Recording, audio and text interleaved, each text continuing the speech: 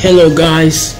In this video are going to learn how to create this typography in CorelDRAW all right to get started i'm going to need an image of a of a paper so this is an image of a paper so uh, it's in png already. I've already removed the background with the help of um, remove.bg so when you come to remove.bg you can remove any background in a blink of an eye. All right let's get started. So what we need to do now is that we need to come over to bitmap. When we come over to bitmap we move to um, outline trace. You move to high quality image. You click it. So you have to reduce the bitmap because the high is uh, is in hd so right now let's increase the detail. You need to increase the detail to reach the maximum length. Yes. So when you're done let's shift the smoothing let's adjust it. Okay. Now let's wait for it to to load. All right this is good. You click on ok. Okay now this one we have to bring this one by the side because we will still make use of it. So right now what we need to do is that we need to ungroup all of them. To ungroup you come over here to the status bar you click on ungroup all objects. So when you ungroup all objects you select all the objects.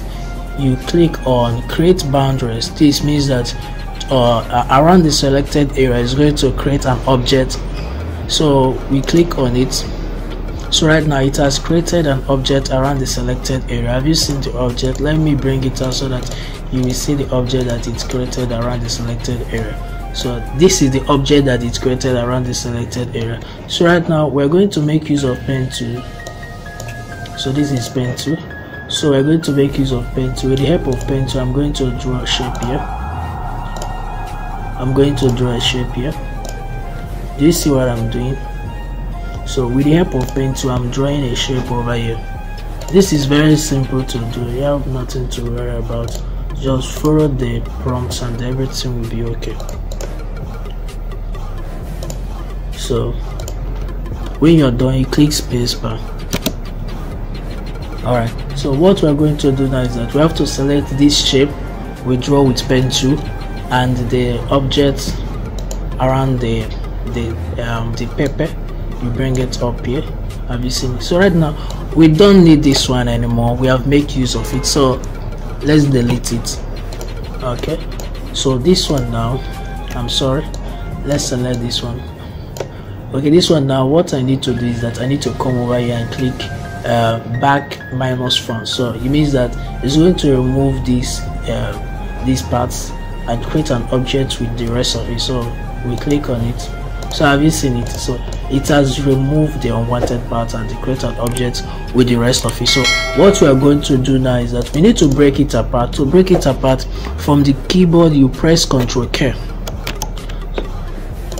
have you seen it? It has uh, broken this object apart. It is now two objects. So this is very good. So right now what we have to do that is that we need a text eh, you can write any test that you want but I, I'm, I'm going to use graphics. So make sure that you capitalize it. So you can just anything that you want to to add there you can add it. So i'm going to use graphics. So graphics so the font i'm going to use here is, is cooper black. Remember you can choose any font of your choice so it's not a must. So let, you have to make sure but what you have to is that you have to make sure that they are all in the same length.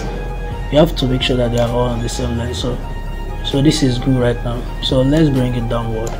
So the next thing that we are going to do now is that you need to move over to effects and you click on envelope. The shortcut for for it is control control f7 so you click on envelope. So what you will do is that you see this um this pick tool this is the eyedropper tool you have to you click on it. Now you need to select the object that you want to create the form. So i'm going to select this object. I want to create the form with this object. So i've used it. It has automatically created uh, a form with this object but it has not um, applied it has not been applied on the test. So in order to make it apply on the test we need to click on apply which is here. When you click on apply it has automatically applied to the test. So right now from here you need to select vertical but because the reason why it is in vertical right now is because i have applied it before. But if you are doing this for the first time it's going to be putty so you need to um, select vertical to make it be in vertical. All right so when you are done you click on apply you close it you close this window. So what you are going to do next is that you have to drop it with uh, pick tool by clicking pick tool so you bring it up here. So you need to set it properly. You need to set it properly. Make sure make sure that you set it properly. So right over here what the next thing that we're going to do is that you right click on it and you click on convert to curves. Have you seen it? So when you click on convert to curve with the help of shape tool you click on shape tool with the help of shape tool now we are going to set this thing. I'm going to click this uh, copy so it's not going to be changing whenever i'm i'm, I'm resizing these nodes so so you bring this one up here. You bring this one here. Make sure that you you cover this place. All right so we come over to this node. Click on it. Remember to click this node you bring this one over here. Let me move down. Let me move down. So this one here we need to bring it over here. Remember to click this so that it's not going to disturb what we are doing. Remember?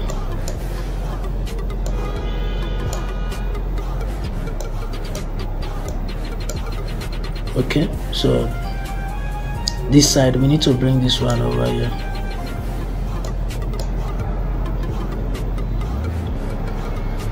you bring this one inside. You bring this one over here.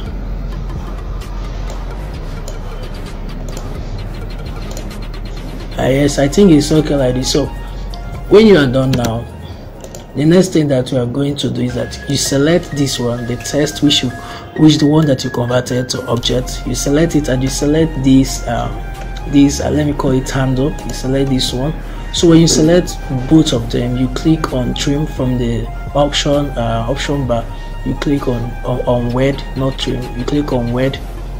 So when you click on weld it will automatically weld it. Let me bring it out.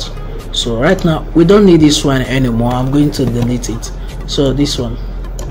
So let me set it more. You click on shape tool when you click on shape tool we're going to delete this place. We don't need it. Yes. If if there is any other places that need to be set you can also set it. But right now this is good so what we need to do is there is that you select it you press p so that it's going to move at the center of the page. So this one this is the image. What you will do is that you right click on this image you right click on it and you select power clip inside. You understand? If you do not see power clip inside you can right drag it to this object and you click power clip inside. This is another way to power clip a, uh, any object inside a container so you click power clip inside. So right now it has power clip this object inside. So you you open it. So when when it power clipped it inside you right click on it and you click on edit uh, power clip. So when you click edit power clip it's going to uh, open it. So right now what you need to do is that you click p. So so that you, you make sure that it's at the center but it's, it's, it's not at the center because the size is not the same anymore because of the background. So what you will do now is that you need to set it manually. So make sure that you set it manually. Or maybe you start from here. Because if you set any age the of every other place will be very okay. So just set this place and every other place will be okay. So since we have set this place every other place will be very okay right now. So have you seen it? So when you are done you click you you move out okay so what we do now is that we have to remove the outline. You right click you remove the outline. So we are done already. So what we are going to do now is that we need uh, drop shadow. You click on drop shadow. From down you drag it up. From down you drag it up. Let's drag it up again. I think this is okay. Let's reduce it